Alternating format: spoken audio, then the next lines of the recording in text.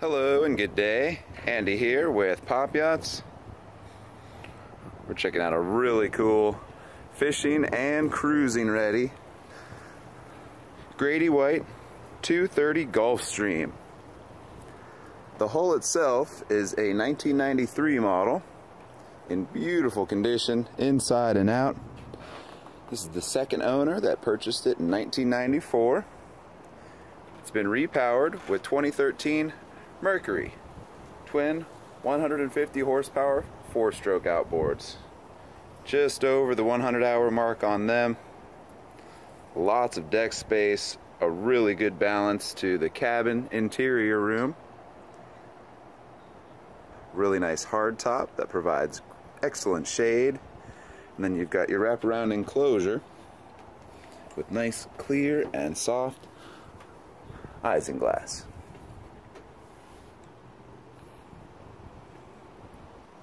coaming pads along both sides with undergunnel rod storage. The walk-through transom boards have been replaced with starboard. Looks really nice. SeaStar hydraulic steering. Motors are in great shape. Storage boxes along the top side.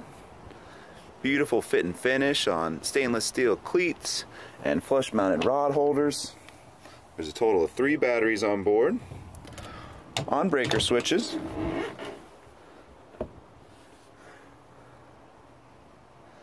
Nice clean bilge, easy access. Third batteries, house battery. There's our other starting one. And the other rear storage box. All the upholstery is in really nice shape. Grab handles right where you need them. Got your live well over to port. All the lighting's been replaced with LEDs. Spreader lights at the rear.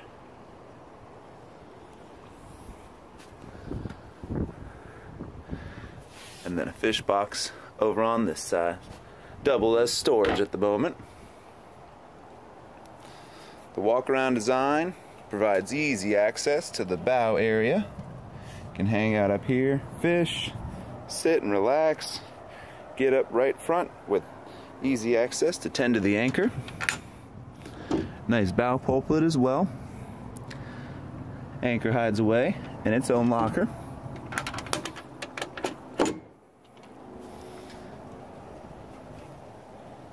Really nice stainless steel bow rail. Gel coat's in great shape overall, as are the windows and hatches.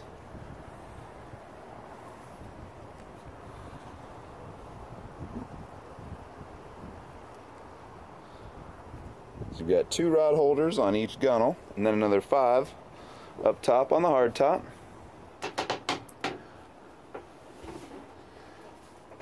holds 147 gallons of fuel. Most efficient cruise is right at 25 knots. You got your Mercury SmartCraft gauges, digital and analog mixture, an extra 12 volt plug that's converted to two USB, nice for charging a phone or MP3 player, tilt helm, smooth steering, power trim and tilt, it'll link up to the throttle handle. And all your accessory switches right where you need them with the Ritchie compass pointing you in the right direction. Northstar's 951X GPS and chart plotter.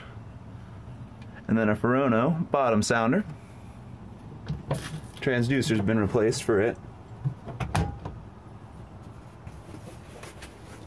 Vent windows open up let in some nice breeze. Power switch for the spreaders, and a night light there.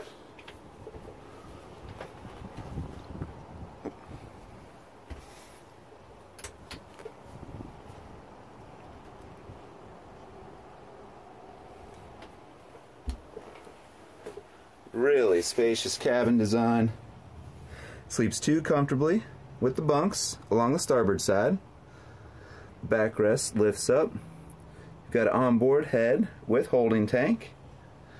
Freshwater sink as well.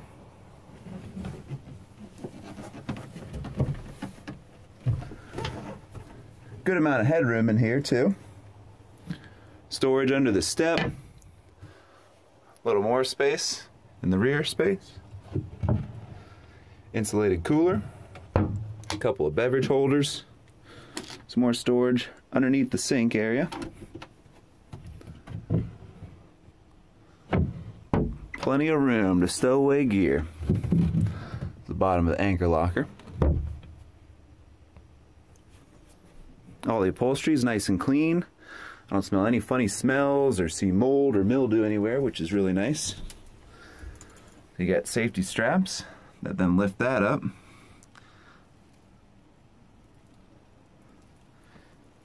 I'm 6'3", and I still have plenty of room, so someone even taller could sleep on the bottom bunk.